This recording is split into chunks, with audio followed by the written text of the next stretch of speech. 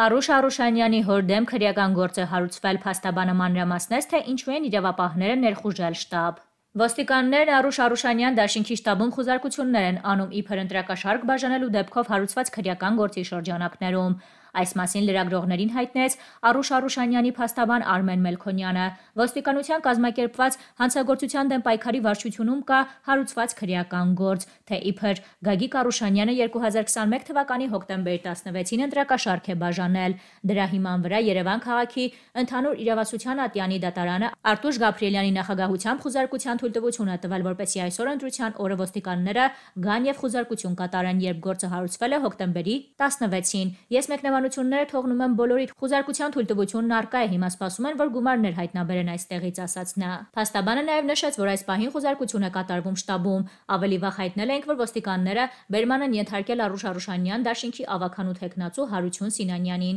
Հիշեցնենք, որ Գորիսի համայնքի Տիմ համամասնական ընտրություններին մասնակցում են Արուշ Արուշանյան դաշինքը, Հայ ազգային կոնգրես եւ քաղաքացիական պայմանագիր կուսակցությունները։ Շատ կարևոր տեղեկություններ ունեմ ձեզ բոլորիդ փոխանցելու Գորիսում ընթացող տեղական ինքնակառավարման մարմինների ընտրական process-ից ուրեմն ինչա կատարվում այս պահին Արուշանյան դաշինքի գլխավոր շտաբը ոստիկանական ուժերի կողմից շրջապատված է այստեղ կան բավականին շատ հավաքված մարդիկ նաև կա տեղեկություններ որ Արուշանյան դաշինքի մյուս շտաբներում նույնպես տեղի են ունենում խուզարկություններ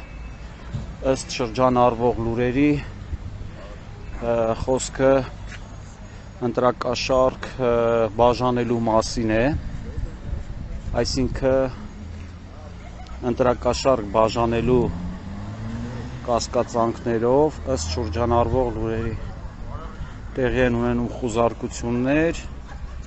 նաև ոստիկանական այլ գործողություններ հիմա տեսեք սա իրենց կենտրոնական շտաբն է այստեղ մեծականակ ոստիկանական ուժեր են իսկ մուտքի դուռը հսկում են ոստիկանները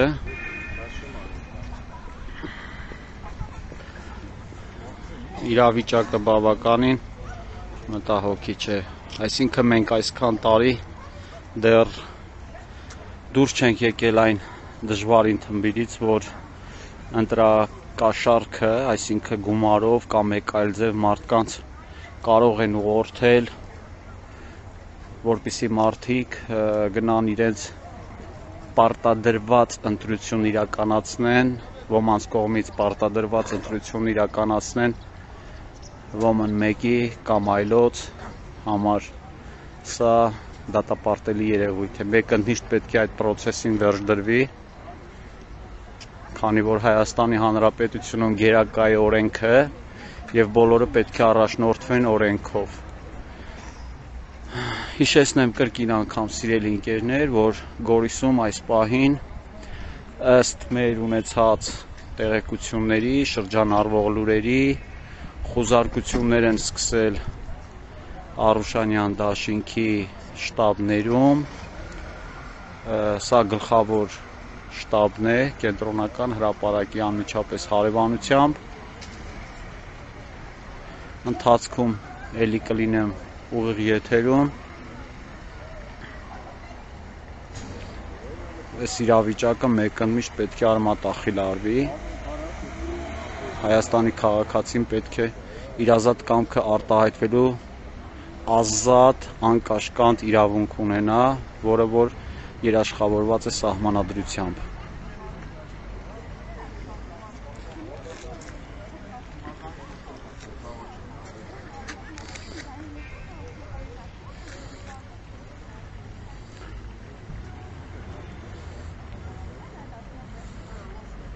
Առայժմ այսքանը սիրելի ընկերներ, բարբերաբար էլի կլինեմ ուղիղ եթերներում։ Դուխները տեղը պահեք, չընկճվեք, ամեն ինչ շատ լավ է լինելու։ Դուխները տեղը ոչ մի ձև չընկճվեք։ Բաներ ու այս մարդու կնգան բերում են դնում են ռադիոյի եզդիների ռադիոն, եզդիներն էլ չի կարող նույնիսկ կարքին խոսա ու բերում են այս մարդուն այնտեղ տեղադրելու։ Ես ճիշտ ասած այդ հանրային ռադիոյի տնորենից շատ բարձր կարծիքի չեմ իր մասին, որովհետև որոշ բաներ տեսա, կարդացի, բաներ հարցրեցի, բայց հիմա այդ անձը մի կողմ թողնենք։ Սենց բան, Ժորժ ջան, անցած անգամ էլ ասեցի։ Եզդի ժողովուրդը, նրանք իրավունք ունեն որոշեն ով ռադիոն վարի եւ ով չվարի։ Ոչ թե ասենք այն բանով, որ ասենք, գիտեք, ինչ կա, այս խանութ բանին տալեք թող ռադիո վարի, դրանում չի հարցը բայց գոնե կիսով չափ պետք է, չէ, ժողովուրդը ընդունեն նրան համաձայն լինեն, որ նա ռադիոն բարի։ Եթե մեծամասնությունը չի ընդունում, ու դա այդպես է իսկապես, զորի ուժով բերում խցկում են այն արանքը, հակապետական, հակափաշինյանական մարդկանց բերում տեղադրում են այնտեղ, ես հիմա ինձ հարց եմ տալի ու ասենք սրա պատասխանը կթողնեմ ձեզ, հանրության ռադիոյի հետ տնորենը ինչ շահերա հետապնդում Ինչ ա ուզում դրանով անի։ Ասենք բերեցիր Հակա Նիկոլին, բերեցիր դրեցիր ռադիոյի մեջ ու առավոտից գիշեր Հակա Նիկոլ քարոշչություն արեց։ Ես դեպի մեր եզիր քույրերը եւ եղբայրները։ Հետո դրա նպատակը ո՞րն է։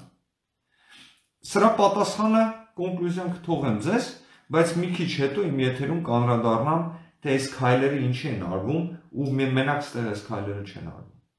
Ուրեմն ես ուզում եմ սկզբնական այս մասով, որը սկսեցի, շնորհավորում մեր եզդի քույրերին, եղբայրներին եւ իմ հայ քույրերին, եղբայրներին, որ եզդիները ունեն իրենց ռադիոն Հայաստանում եւ վերականգնվեց 60 րոպե պլյուս 10 րոպե եւ վարելու են այն մարդիկ, ովքեր 30 տարի վարել են, դրանից ավել, իհարկե միասին մյուս հարգարժան եզդի ներկայացուցիչների հետ եւ նրանք երբեք չեն խառնվել քաղաքական գործերում կուլտուրա, կրոն, ապրել եւ խաղաղություն։ Այո։ Եթե զարգացումներ լինի, ես ձեզ խոսեմ գալի Ժորժան, ես սրանով զբաղվելու եմ, ես այս թեման չեմ փակում, ես հետևելու եմ, թե այդ նոր մարտիկ ովքեր են գալի, ովքեր են գնում, ովքեր են հակապետական, ովքեր են, ասենք, իսկապես ընդունվում եզդի ժողովրդի կողմից, ովքեր չէ։ Եթե փոփոխություններ լինի, ես անպայման դրանով կզբաղվեմ եւ ձեզ նույնպես դրա մասին տեղյակ կպահեմ, վստահեցնում եմ ձեզ։ Ես հիմա խմում եմ ուրցի չայ, Ժորժան, Հայաստանից, հատուկ Հայաստանից բերած բերողին եւ նրա ընտանիքին, ամուսնուն եւ բերողին երկար կյանք եւ առողջություն։ Շնորհակալ եմ։ Ուրեմն